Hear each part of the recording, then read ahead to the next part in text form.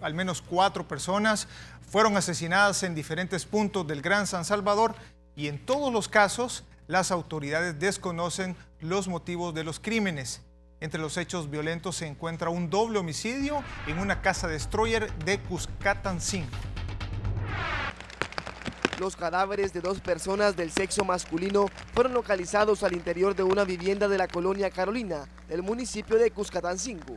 Las autoridades informaron que las víctimas fueron privadas de libertad de un autobús del transporte colectivo. El 911 informó de unas personas que fueron privadas de libertad, que parecen una ruta 20 y tiraron esta dirección. La casa esta, al parecer es casa de Troyer por los, por los, por los grafitis, grafitis que encuentran en el lugar. Los cuerpos presentaban lesiones con arma blanca, principalmente en el rostro. Días corto, corto punzantes. ¿Y, ¿Y qué, se, qué, qué, se tiene con respecto a la zona? ¿Cómo es la zona? ¿Cómo, cómo la identifican? ¿Complicada? Sí, complicada. Más que todo es de los, de los 18 revolucionarios.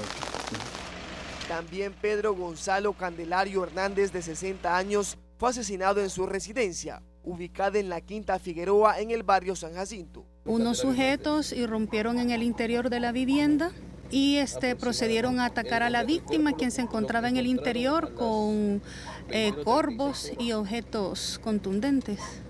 ¿El móvil de este... Pues por el momento se desconoce. Mientras en la calle del Volcán, frente a los condominios Atlanta de Mexicanos, fue arrojado el cadáver de un hombre quien no fue identificado. La policía no brindó información sobre este hecho en la escena. Para Teleprensa, Canal 33, Jorge Trillos.